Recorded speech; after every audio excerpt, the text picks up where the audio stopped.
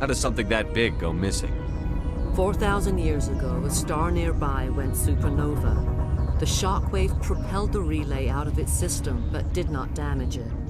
Its precise vector and speed are impossible to determine. As millennia passed, the nebula created by the nova enveloped the relay. It is difficult to find any cold object in interstellar space, particularly something swathed in hot dust and radiation. How does something that big go missing? 4,000 years ago, a star nearby went supernova. The shockwave propelled the relay out of its system, but did not damage it. Its precise vector and speed are impossible to determine. As millennia passed, the nebula created by the nova enveloped the relay. It is difficult to find any cold object in interstellar space, particularly something swathed in hot dust and radiation.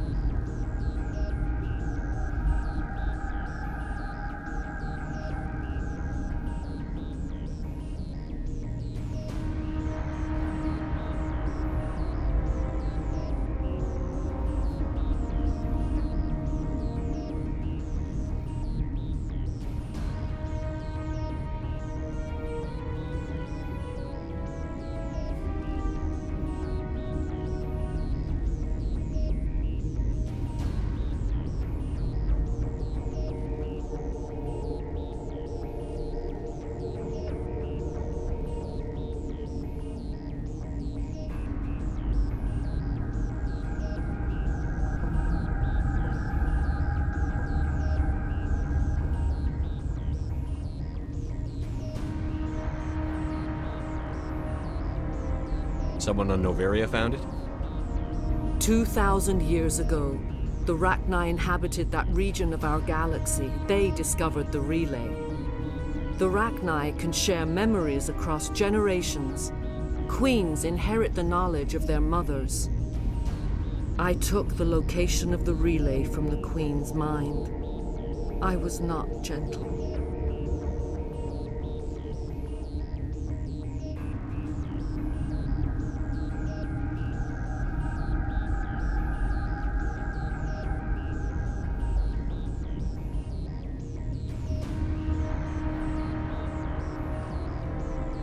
How did the Rachni find it? They searched, patiently. They are territorial creatures, driven to close any possible way into their systems. Why does Saren need the Mu relay? He believes it will lead him to the conduit. I would tell you more if I could, but Saren did not share his counsel with me. I was merely a servant to his cause.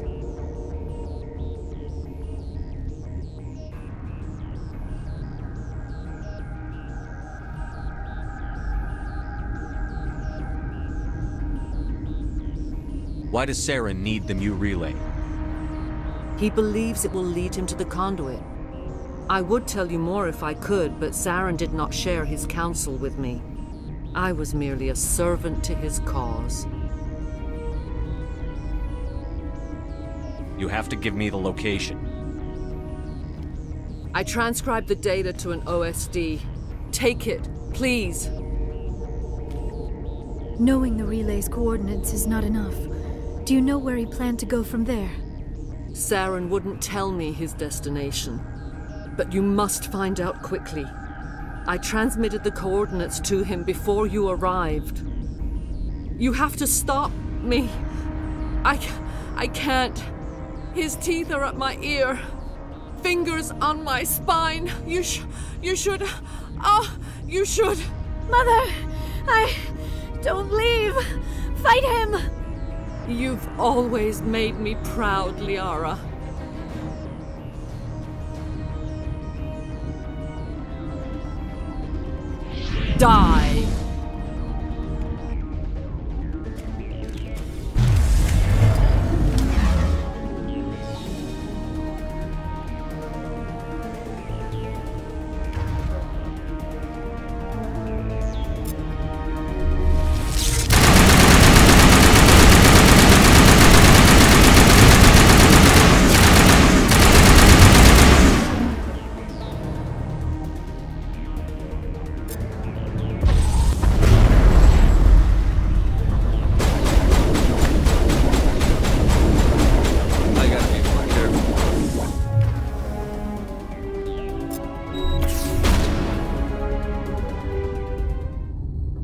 Cannot go on. You will have to stop him, Shepard. Hold on. We've got medi-gel. Maybe we can... No. He is still in my mind. I am not entirely myself. I never will be again. Mother! Good night, little wing. I will see you again with the dawn. No light. They always said there would be a. The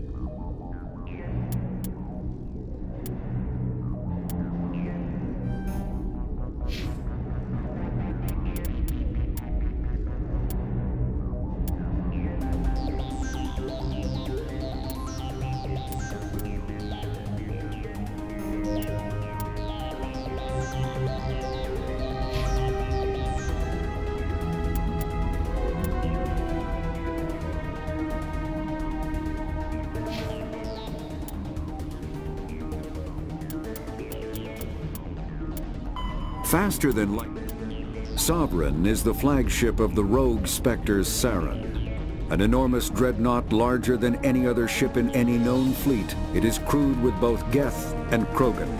At two kilometers long, its spinal-mounted main gun is likely capable of penetrating another dreadnought's kinetic barriers with a single shot. How Saren acquired this incredible warship is unknown. The prevailing opinion is that Sovereign is a Geth construct, others believe it is a Prothean relic. Its design, however, hints at a more alien and mysterious origin. The attack on Eden Prime demonstrated Sovereign's ability to generate mass effect fields powerful enough to land on a planetary surface.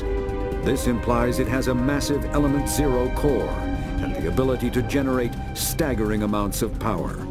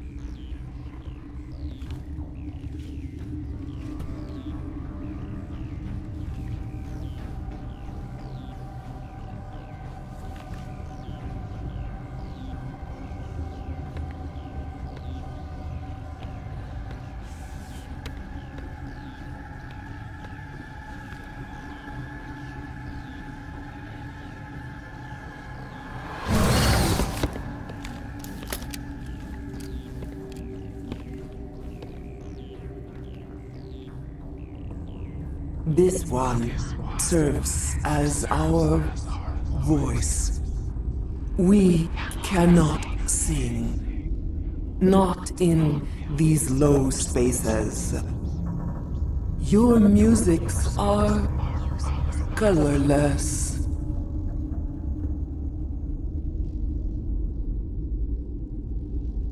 Musics? What? Your way of communicating is strange. Flat. It does not color the air. When we speak, one moves all. We are the mother. We sing for those left behind. The children you thought silenced. We are Rachni.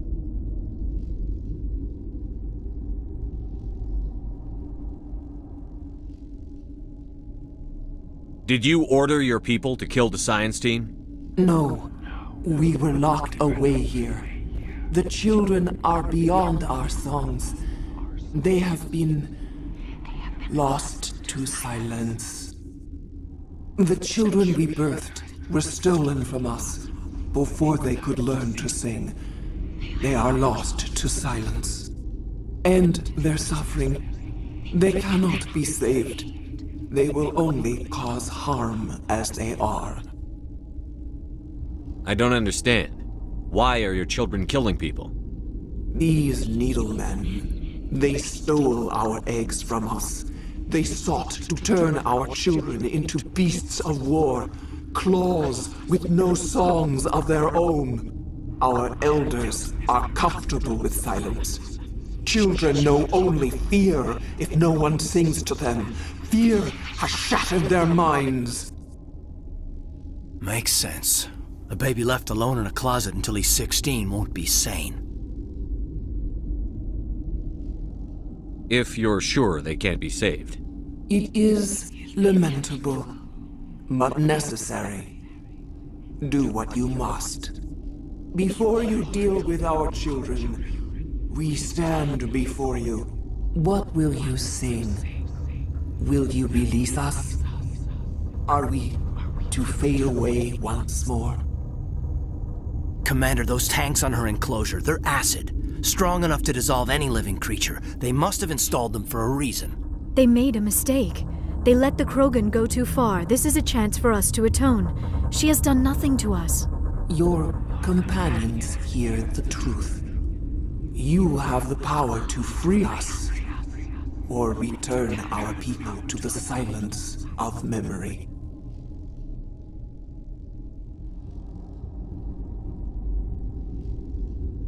If I let you live, would you attack other races again?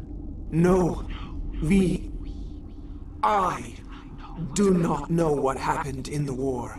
We only heard discordance, songs the color of oily shadows. We would seek a hidden place to teach our children harmony.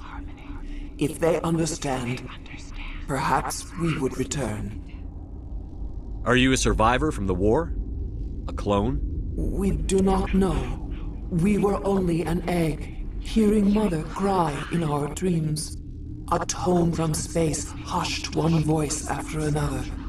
It forced the singers to resonate with its own sour yellow note. Then we awoke in this place, the last echo of those who came out from the singing planet. The sky is silent. If I let you live, would you attack other races again? No, we. I do not know what happened in the war. We only heard discordance, songs the color of oily shadows. We would seek a hidden place to teach our children harmony. If they understand, perhaps we would return.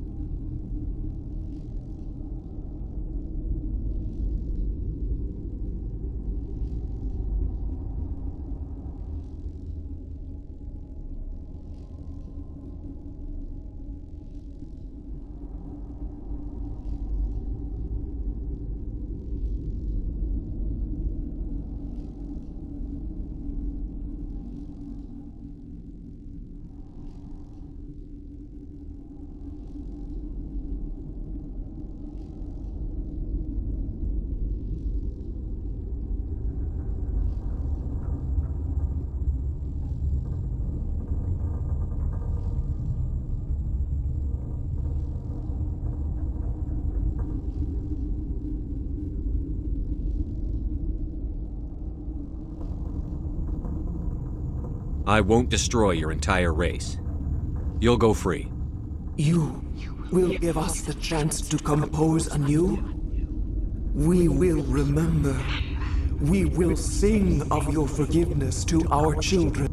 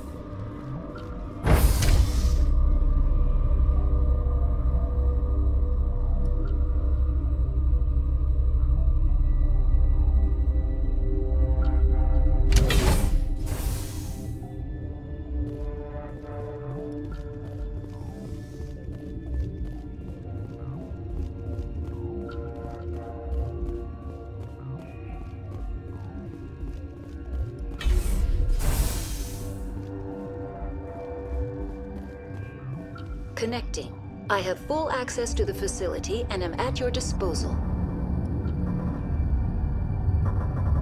How many Rachni are in here? I'm sorry, the sensor network is too damaged to provide an accurate count. Give me your best guess. Guessing is beyond my design parameters, Commander. Are there any survivors in here? Lady Benezia, an executive secretary of Binary Helix, is on the operations deck. There are no other living crew members within the lab structure. What's the status of the facility? Containment breach in Laboratory Pod Gamma. The neutron purge system is functional, but has not been... I need information on the neutron purge. The neutron purge is a failsafe system installed within the isolation tube area. In the event of irretrievable containment loss, it is used to resolve the situation. What exactly does this thing do? The Purge is a neutron burst weapon. Two volumes of fissionable materials are brought together to form a critical mass. Most of the energy is released in the form of high-speed neutrons. This radiation is instantly lethal to any known form of life within 500 meters. We would be wise to avoid touching any controls without reading the instructions. It's always a good idea to RTFM, ma'am. To what? We're moving on. Logging you out, Commander.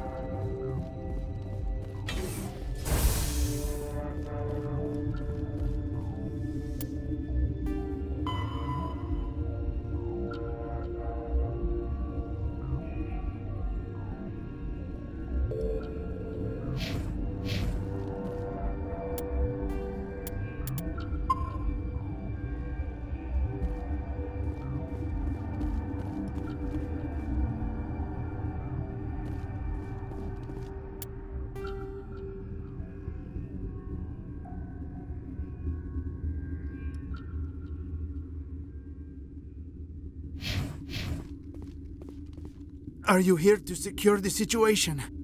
That's right. I'm a Council Spectre. Who are you? I am Yaroslav Tartakovsky, the operations director. I would stand and shake hand, but uh, you must listen to me. If we do not contain our mistake, they will drop bombs from the battle stations. You understand? You let these things out? Uh, I am only following the orders. Binary Helix found an egg. It was on a derelict ship, thousands of years drifting. This was Rachni ship. Inside they find many eggs in cryogenic suspension. A thousand-year-old egg hatched? Yes. Very tough to be so long frozen. That it survived the centuries. This is miraculous. Binary Helix planned to clone Rachni, mass produce them, create an army. But when they get here, they find this egg is not a common Rachni. It is a queen. After she lays eggs, they move her to Rift Station. They are thinking that without her, they can raise the babies to be obedient. Hold on. Don't you need a male to get eggs? Queens are born carrying the genetic code of their fathers. Eggs are carried away from the colony to hatch alone. Queens can lay eggs in hours and have a colony in days. This is how they spread so quickly. Separating them from their mother didn't work.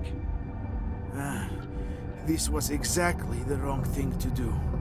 I am thinking that without a queen, Rachni do not develop properly. Her mind is shaping theirs. These Rachni are uncontrollable. Then all we need to do is bring her here. No, I am sorry, but this will not work. These Rachni are beyond saving. It is a sad thing, but they must be euthanized. I am thinking that the neutron purge must be set off. I'm not familiar with the purge system. It creates bursts of neutron radiation, kills everything within the station. Things beyond get genetic damage of varying degree. Once the purge is armed, we'll have to fight our way out. Give us a minute to patch up and rearm. Sure, sure. I wait here. I am not so much good for searching now, yes?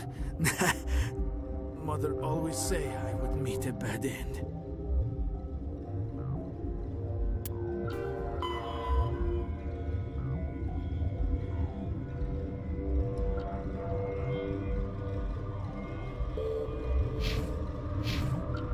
I am feeling not so well. I'm not familiar with the purge system.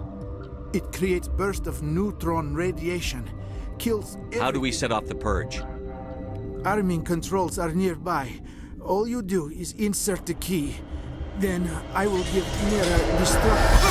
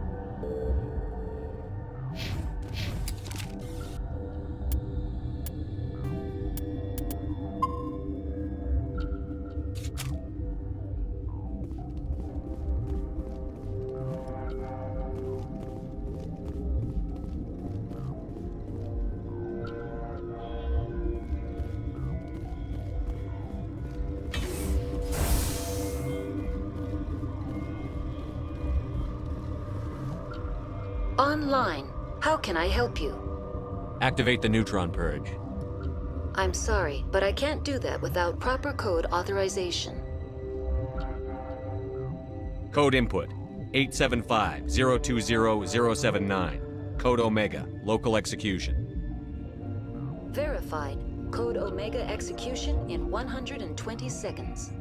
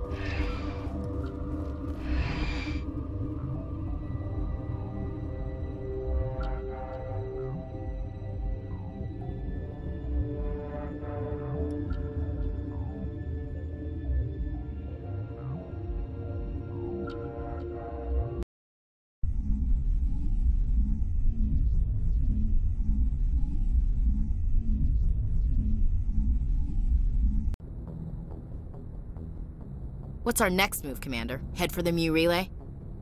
The Mu relay could link to dozens of systems. Unless we know exactly where Saren's going, we'd just be wasting our time. The commander is right. We cannot rush off blind. We still need to learn more about Saren. Who put you in charge? Did the commander resign when I wasn't looking? We're all on the same team here, Williams. She's just trying to help. Sorry, Commander. Crew, dismissed. Noveria report is away, Commander. You want me to patch you through to the Council? Patch him through, Joker. Setting up the link now, Commander. Is this report accurate, Commander? You found Rachni on Noveria? And then released the Queen. Do you have any idea what you've done? How many generations until they overrun the galaxy? This Queen is different. She understands why her kind had to be wiped out last time around. I hope you're right, Shepard. Our children's children will pay the price if you're not. We'll be waiting for your next report, Commander.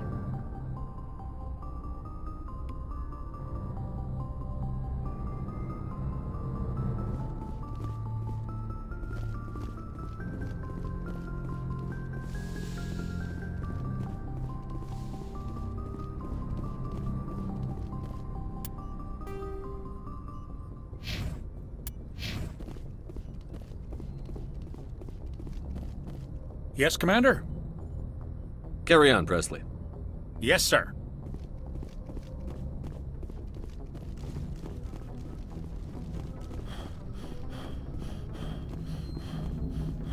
Boy, am I glad to be off of Noveria. I don't know which was worse, the cold or the corporations.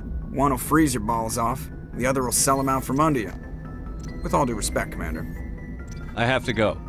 All right, see you.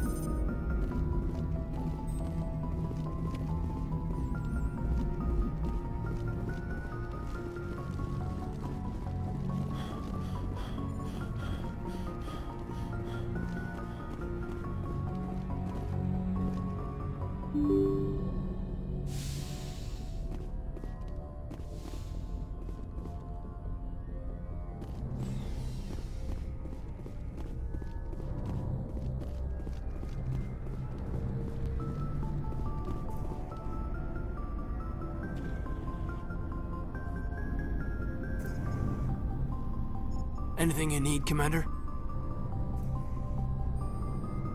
Just trying to get a sense of where the crew's at.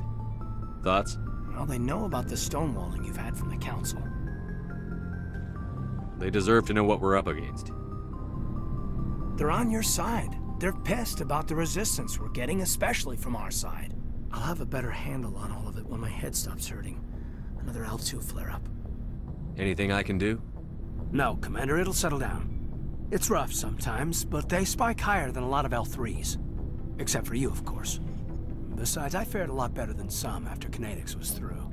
I haven't heard anything about Conatix in a while. Yeah, they quietly disappeared. Broke up into a bunch of little corps after they botched the training on Jump Zero. After first contact, Conatix was set up to track Element Zero exposures and develop implants for humans. Once we had an embassy on the Citadel, Conatix could bring in experts instead of taking it slow. Is there some reason we couldn't learn it on our own? They didn't know where to start. Hell, it took a couple of years to even link biotics and EZO. Forget trying to get the kids to move stuff. They had trouble just helping them not break their own limbs. And their choice of teachers didn't help much. The only experts would have to be aliens. Dead on. Turians, actually. That's why Conatix kept it a secret. They were afraid of what people back home would think, asking the Turians for help when we just fought a war with them. The Asari would have been more acceptable than the Turians. Yes, but the company didn't go through the Citadel. It would have made Earth look weak, so they discreetly hired some Turian mercenaries. I'm sure Conatix did what they thought was best. It wasn't best for us. They brought in an ex-military Turian named Commander Vyrnnus. A real hard-ass. He basically had a free pass to break us if it would turn out a decent biotic. Kind of spiraled from there, Commander. Did he ever face charges for that? He got his, yeah. But like everything else at Jump Zero, it was under the table. The less said, the better. Anyway, this is ancient stuff. I walked it off a long time ago. I should get back to my duties, Commander. We're here to make history, not rehash it. Just trying to get a sense of where the crew's at. Thoughts? I've wasted enough of your time for now, Commander. We'll have time for personal debriefings later. What's your opinion on the last mission? Killing Saren's, uh, what was Benezia anyway? Second in command? Advisor? Anyway, it should set him back a bit. I'm sure Dr. T'Soni's hurting, though. Poor kid. Having to kill her own mom. Any opinion on the Rachni? Off the record? If we had the option, I'd as soon have left it to the Council. We weren't out here during the Rachni War. I'm not sure we have any business getting involved. What's your opinion on the last mission? Killing Saren's... I'm sure Dr. T'Soni's hurting, though. Poor kid. Having to kill her own mom. We'll talk another time, Lieutenant. Commander?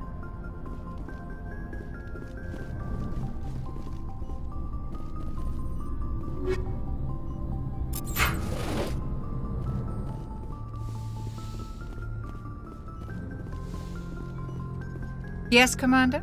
Is there something you need? I should go. Goodbye, Commander.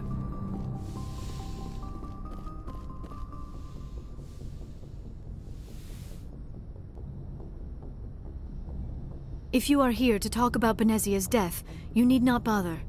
She brought it upon herself. Don't pretend it doesn't bother you. She was your mother. She was. But she was not. I prefer to remember Benezia as she used to be, before she was corrupted by Sovereign's power. The best of your mother lives on in you. Her determination, her intelligence, her strength. That is kind of you to say. I appreciate your concern, but I am fine. Benezia chose her path, just as I have chosen mine. I am with you until the end, Shepard.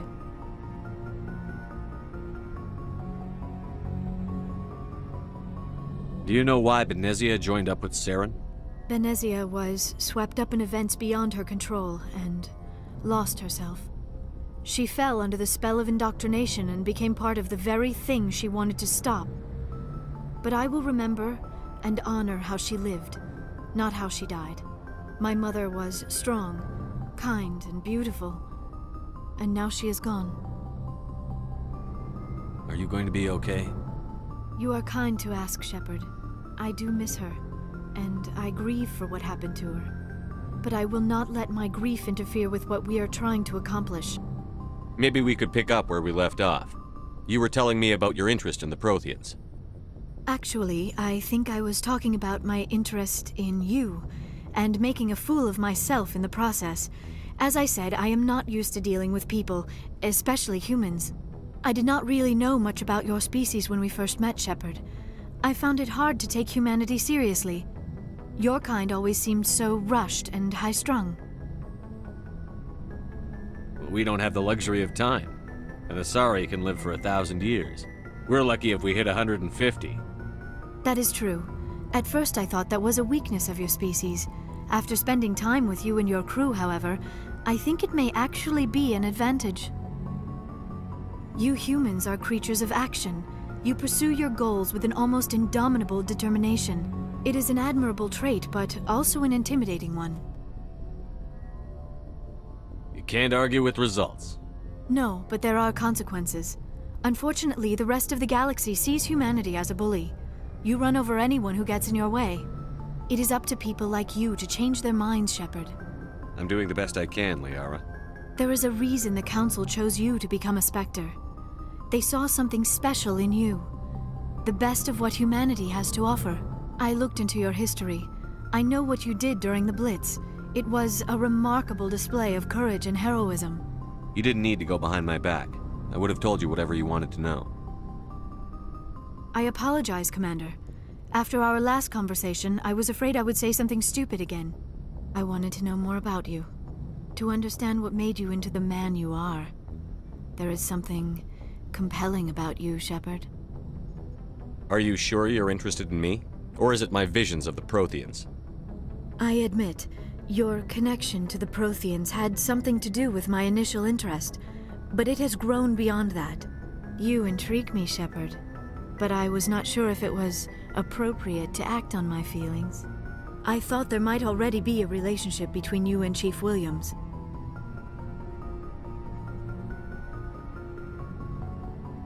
I care about Ash. A lot. I thought so. Still, I feel as if there is also some attraction between us, Shepard. You're right. There is something between us. I knew it, and I knew you felt it too. But does this not seem rather strange? Why do I feel so close to you? We have only known each other a short time. We are from two different species. We have almost nothing in common. This makes no sense. These things never make sense. They just happen, and we get swept up in the storm. You make it sound so chaotic, so dangerous. I'll keep you safe. I am not looking for a protector. This is all a bit overwhelming. I am not used to this. You. I need some time. Take all the time you need, Liara. I'll be here. Thank you, Shepard. Let's... let's just talk about something else for now. I should go. Goodbye, Shepard.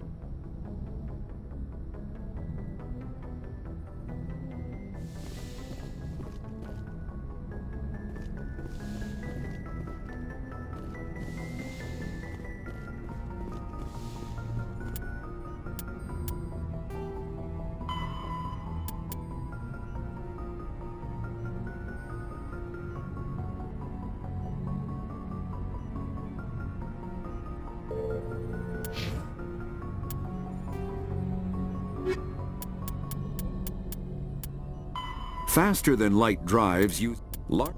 Sovereign ship mobility dominates space combat. The primary objective is to align the mass accelerator along the bow with the opposing vessel's broadside.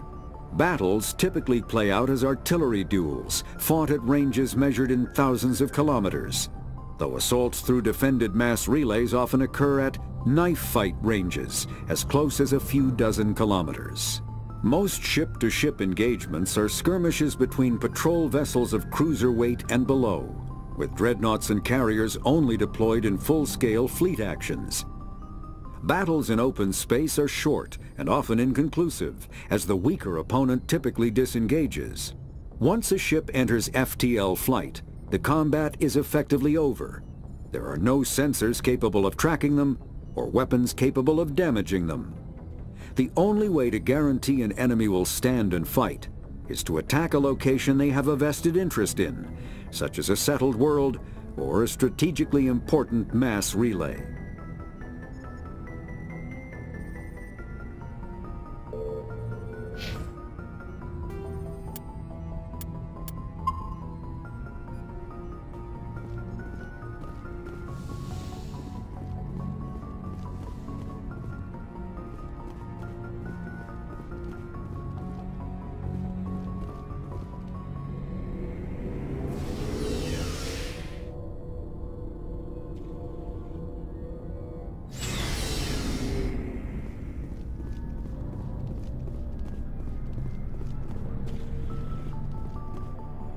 Before I go, you said you're serving with Commander Shepard now? We saw him on the news here. He's cute. Later, sis. Tell me you didn't hear that. Afraid I did. Oh, shoot me now. One of my sisters. That's Sarah, the youngest. Surprised to see you here, sir. Thought you'd be chatting up, what's her name? T'Soni? Liara, why would you think that? Scuttlebutt says you got a bit of a thing for her. I could understand why. The crew's off limits with the regs against fraternization. And at least she looks like a woman. You think I'm interested in Liara because she's the only one I'm allowed to date? So you are interested in her. Of course, it could be politics. Alien diplomat's daughter, us under orders to make nice with the bug-eyed monsters. What's up? You didn't come by to eavesdrop on Family Mail.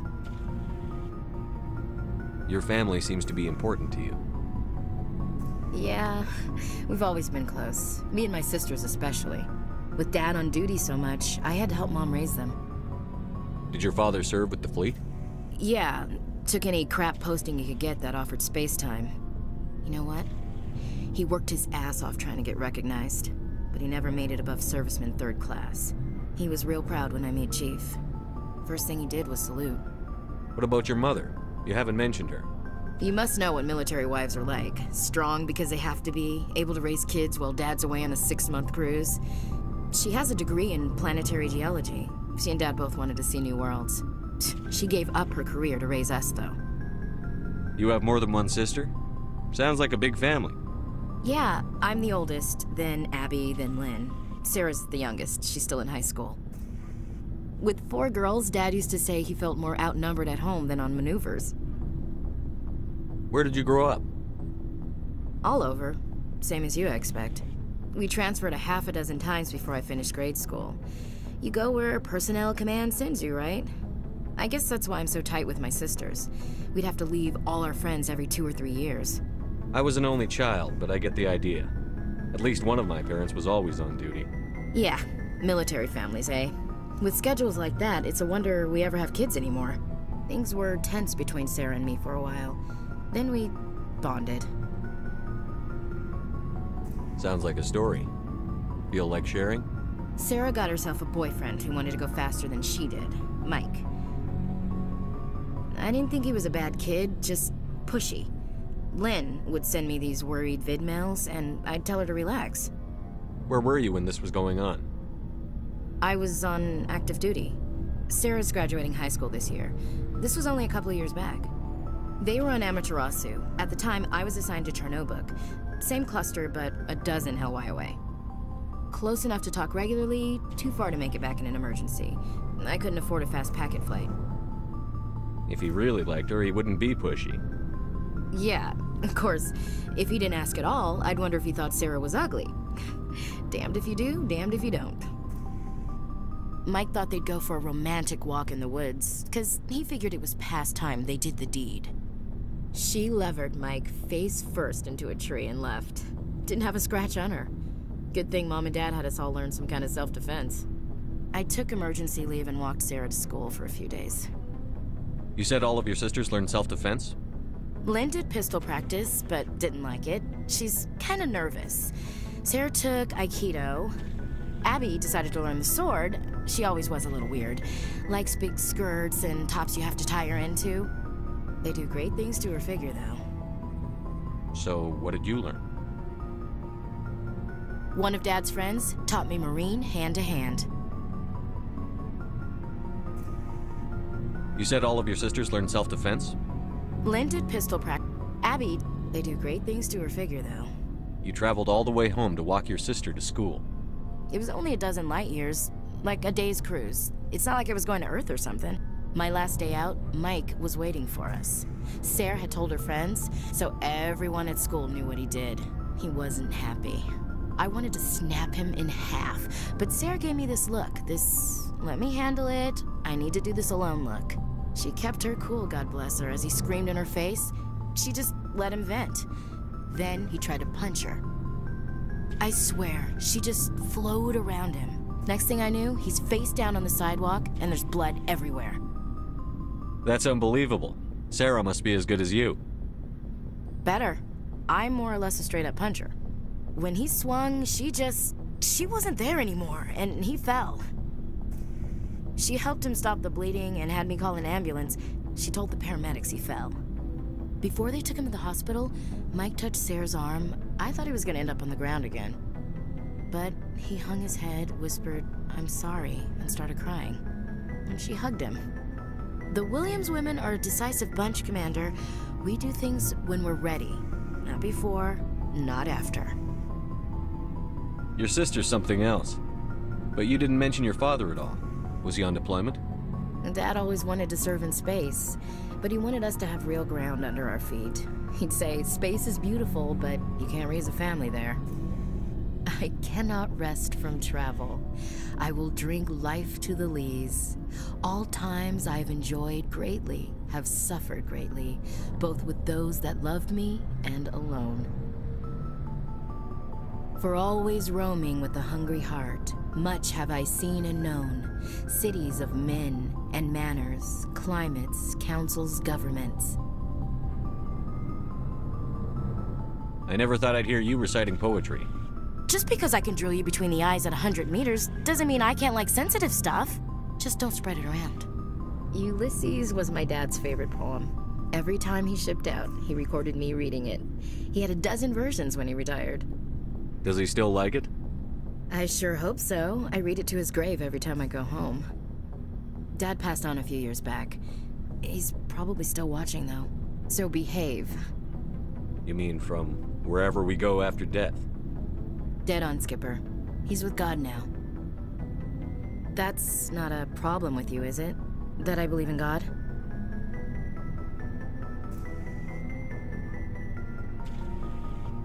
You know that old saw, there's never an atheist in a foxhole?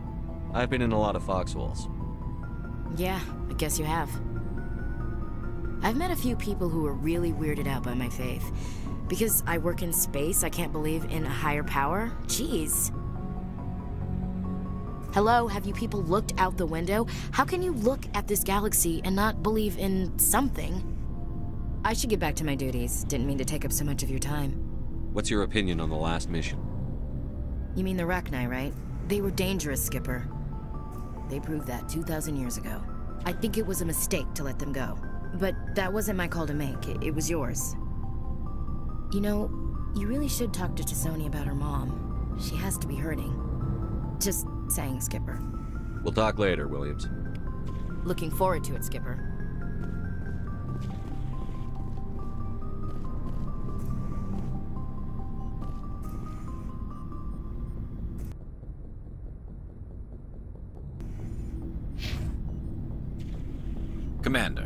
Good to see you. You've been with C-Sec a while. Have you seen much action? Well, not as much as you, but yeah, I've seen some interesting things. I'll bet you have. Anything in particular that stands out? I remember the Salarian geneticist I was sent to investigate. That case was a bit disturbing. What happened? Why were you investigating them? I was tasked with tracking black market trade on the Citadel. Most of it harmless, nothing I needed to pursue. But during the course of my investigation, I noticed an increase in the trade of body parts, organs mostly. We usually get a few of those, but not the numbers I was seeing. We weren't sure if there was a new black market lab or if some freak was harvesting organs from citizens. So what was it? Both, actually. But it took us a while to figure that out. So how did you figure out what was happening? First, we got a hold of a sample and ran DNA tests. The weird thing was, the match led us to a Turian who was still alive and was very convinced he'd never lost his liver. After a bit of digging, I discovered this Turian worked briefly for Dr. Saleon, the geneticist. So I went to his lab hoping to find evidence of cloned organ development, but there was nothing. No Salarian hearts, no Turian livers, not one Krogan testicle. You're kidding, right? Why would anyone want Krogan testicles? Some Krogan believe that testicle transplants can increase their virility, counteract the effects of the genophage. It doesn't work, but that doesn't stop them from buying. They'll pay up to 10,000 credits each. That's 40,000 for a full set. Somebody's making a killing out there. What did you do about the geneticist? I brought in some of his employees for interrogation, to see if I could get them to talk. While I was interviewing one of them, I came across something suspicious. You mean threatened? Was that really necessary? Maybe, maybe not. Either way, it paid off. One of my detainees started bleeding profusely during the interview. We offered to patch him up and he got frantic, freaked out. I ordered a full exam to find out what was going on. Our medics found incisions all over his body, some of them fresh. That was our big break. These people weren't just Dr. Saleon's employees. They were test tubes. Walking, living test tubes. He was growing parts inside these people? Exactly. He cloned their organs right inside their own bodies. Then he harvested them and sold them off. Most of the victims were poor. He'd pay them each a small percentage of the sales, but only if the organs were good. Sometimes an organ wouldn't grow properly, but only on the inside, hidden so nobody could see it. I hope he got what he deserved. That's the worst part. We never caught him. Why not? What the hell happened? He ran, blew his lab, grabbed some of his employees, and headed for the nearest space dock. By the time I found out, his ship was already leaving. He threatened to kill his hostages if we tried to stop him. But you went after him anyway, right?